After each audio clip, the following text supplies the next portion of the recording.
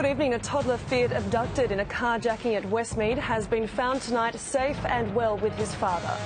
Fire crews are battling a huge factory blaze at nearby Smithfield. A boy needing an urgent facial reconstruction made to wait five days for surgery. And after being set on fire, Snowy the cat has been reunited with his owners. The weather tomorrow, rain developing, a top of 20 degrees. Sarah's next with the weather and the working week's off to a great start. Yes, Mark, spring is almost in the air with temperatures on the rise. I'll have the forecast for the last day of winter after the break. Good evening, Sara Groen with breaking news. Labor Party power brokers are urging Julia Gillard to challenge Kevin Rudd's leadership of the Labor Party. Political editor Mark Riley joins me now from Canberra. Mark, how serious is this challenge? Well, if you're looking for a way to shake the winter blues and roll into spring, Rose Seidler House is the place to be this Sunday. It'll play host to the annual 50s fair with these swing time dances, 50s fashion, cars and collectibles. The weekend weather's looking pretty good, not as windy as today, thankfully. Early haze gave way to a fine and sunny afternoon in Sydney. Temperatures were close to average with light to moderate winds. The city had a range of 11 to 18 degrees. Right now it's 15. A mild night for winter, lows of 7 in the west and 10 along the coast. Richmond, Penrith, Liverpool and Campbelltown enjoyed tops of 20 degrees, 19 at Parramatta and on the central coast. On the charts, a trough is generating showers over southern WA with patchy rain along the Queensland coast. Tomorrow, a large high will direct warmer northerly winds across most of New South Wales with early frost and fog in the east. A rainy day for Adelaide with a few showers for Perth and Hobart. Sunny and 24 in Brisbane. Canberra climbing to 16 degrees. Sara Groen's outside braving the conditions. Sarah, just how cold did it get? Well, Ian, it didn't get past 14 degrees here in the city today, but it was the wind that cut to the bone, making it feel more like 3 degrees. In the Blue Mountains, the wind chill got down to minus 11. Snowy mountains, but not down south. This is Oberon, west of Sydney.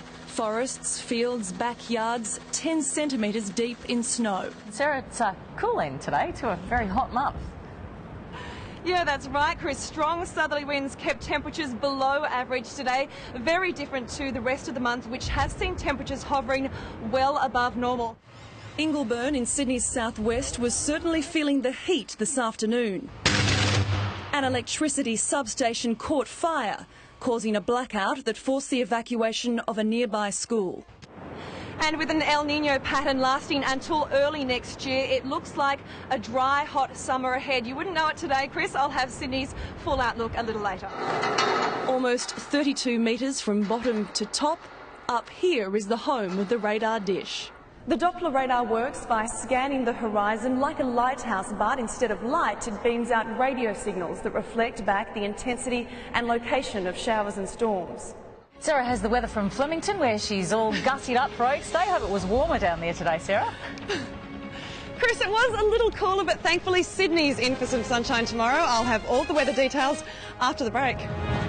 Well, a man that needs no introduction, Mr. Chris Isaak. So, I was about to say, so famous. You've had a horse race named after you. That was pretty awesome.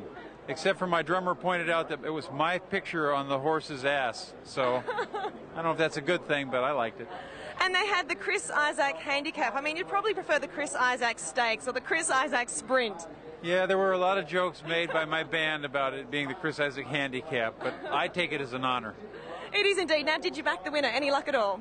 Oh my God, Carson Kressley, is that you? Oh my God, it is. How are you? Oh my God, I am so super fine. How are you? Um, are you faking that accent? Because it's so good. Oh my God, really? Yeah, you're like a valley girl. I love it. You say tomato, I say tomato.